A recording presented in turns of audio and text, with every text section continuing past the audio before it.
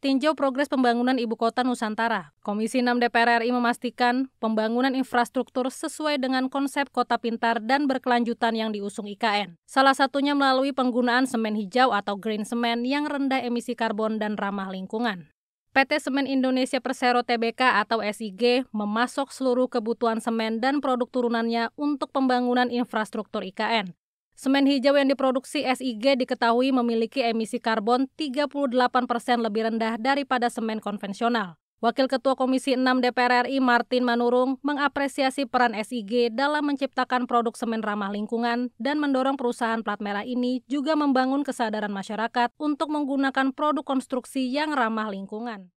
Nah, dengan adanya green cement ini tentu akan tercipta satu pasar yang baru di mana SIG mungkin akan lebih bisa berperan. Nah, yang tadi kami berikan masukan adalah bagaimana SIG bisa meningkatkan awareness supaya orang semakin paham ya bahwa memang uh, diperlukan semen yang lebih hijau tentu tanpa mengurangi aspek kekuatan.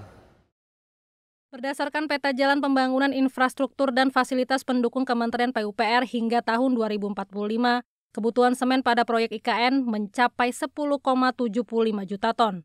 Dalam pembangunan tersebut, produk bahan bangunan SIG digunakan untuk paket pengerjaan Istana Negara, kantor presiden, lapangan upacara, hingga jalan tol IKN yang menghubungkan IKN, Balikpapan hingga Samarinda. Dari Balikpapan, Adila Febianto, TVR Parlemen, melaporkan.